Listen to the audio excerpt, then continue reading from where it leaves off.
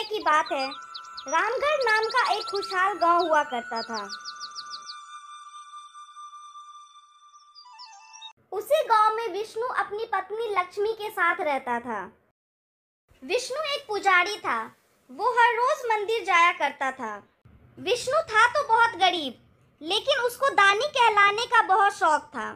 वह रोज दो एक अजनबियों को अपने घर खाना खिलाने ले आता। चाहे घर में खाने भोजन हो न हो। दूसरों को खाना खिलाना वो अपना धर्म समझता था।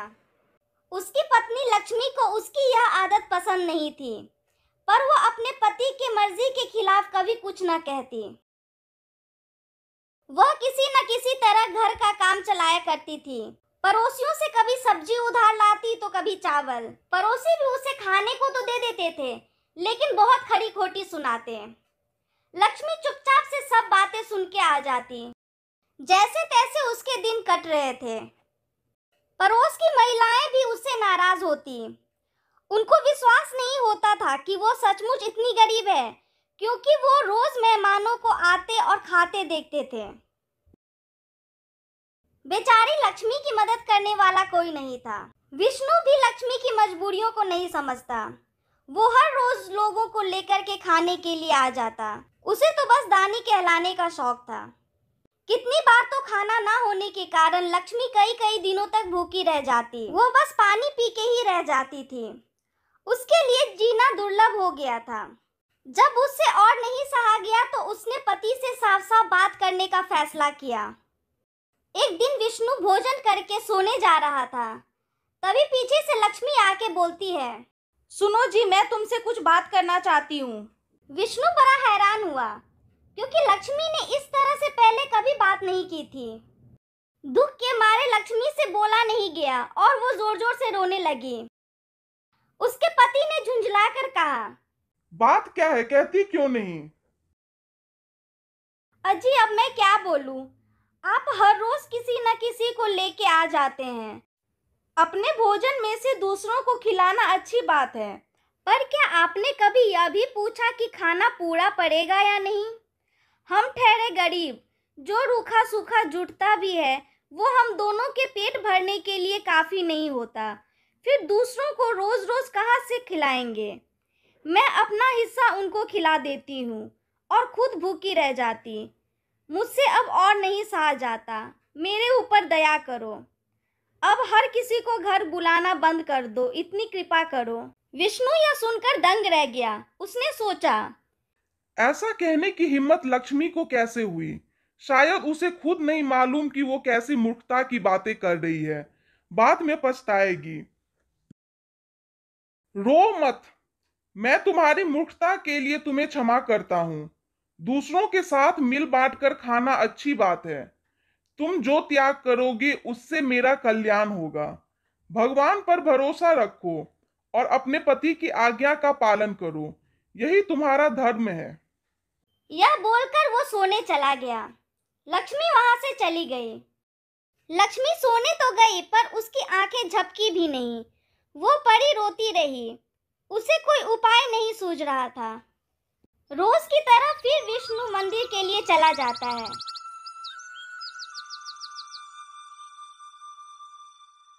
लक्ष्मी ने दूर से ही उसे दो आदमियों के साथ आते हुए देख लिया। अचानक उसे एक उपाय सूझा। आप दोनों बैठिए मैं अभी मुँह हाथ धोकर आता हूँ। विष्णु के जाने के बाद लक्ष्मी धान कूटने का मुसल उठा लाई और उसको एक सहारे से टिका दिया। उसके बाद उसने पीतल का दिया जलाकर मुसल के आगे रख दिया। मुसल के चारों ओर दो चार फूल भी डाल दिए और उसके सामने हाथ जोड़कर बैठ गई। वो ऐसी जगह बैठी जहाँ से अतिथि उसे आराम से देख सके। अतिथियों ने उसको देखा तो वे हैरान रह गए। मुसल की पूजा करते उन्होंने आज तक किसी को नहीं देखा था। दोनों आकर लक्ष्मी के सामने खड़े हो गए और उससे पूछते हैं आप मुसल की पूजा क्यों करती हैं? हमने आज से पहले कभी नहीं देखा किसी को मुसल की पूजा करते हुए। लक्ष्मी ने आँखों में आँसू भरकर कहा, अब मैं क्या करूँ भैया? मैं अपने पति की बुराई कैसे कर सकती हूँ? फिर भी आपको बताना ही पड़ेगा, क्योंकि इसका संबंध भी आपसे ही है। यह सुनकर तो दोनों उसका भेद जानने के लिए लक्ष्मी के पीछे ही पड़ गए। लक्ष्मी ने कहा पहले आप वादा करो कि आप मेरे पति को कुछ नहीं बताएँगे। उन दोनों ने भी वचन दिया कि वे विष्णु से कुछ नहीं बोलेंगे। तभी लक्ष्मी ने कहा, मेरे पति दानी आदमी हैं। वो मेहमानों को घर बुलाकर खाना खिलाते हैं और खिलाने के बाद उन्हें इसी मुसल से खूब पीटते हैं। कहते हैं, यही उनका धर्म है। मैं खाना तो बनाती हूँ, लेकिन मारने पीटने से मेरा कोई मतलब नहीं। मैं मुसल की पूजा इसीलिए कर रही हूँ, ताकि मुझे पाप नहीं लगे। लक्ष्मी की बातें सुनकर अतिथियों का सर चकराने लगा। वे दोनों एक दूसरे की ओर देखते हैं। उन्होंने इशारों ही इशारों में कहा कि यहाँ से चुपचाप खिसक जाने में ही भलाई है। वे दोनों पीछे के दरवाजे से निकल भागे। उन दोनों के जाने के कुछ समय बाद विष्णु आके लक्ष्मी से पूछता है मेहमान कहाँ चले गए? अभी तो यहीं थे। लक्ष्मी ने बड़े दुख के साथ कहा "आ, अजय मेरी मूर्खता को क्षमा कीजिए। वे मुझसे यह मुसल मांग रहे थे। मैंने कहा मेरे घर में एक ही मुसल है मैं नहीं दूँगी। बस वे गुस्सा होके चले गए।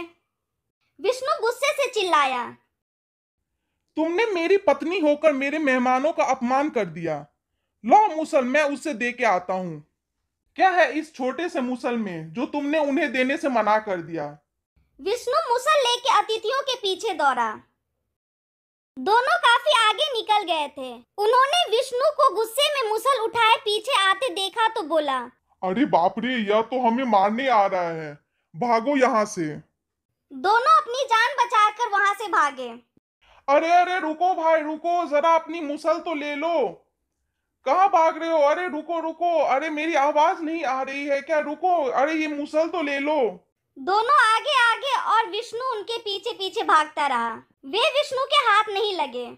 उन मेहमानों ने यह बात पूरे गाँव में फैला दी कि विष्णु अपने मेहमानों को घर बुलाकर उन्हें मुसल से मारता है। उसके बाद कोई भी खाने के लिए उसके घर जाने को तैयार न होता। विष्णु हर रोज शाम को चुपचाप घर वापस लौट आता। विष्णु को कभी पता नहीं चला कि यह लक्ष्मी की चाल थी। उस दिन के बाद अब लक्ष्मी को भी कभी भूखा नहीं रहना पड़ा।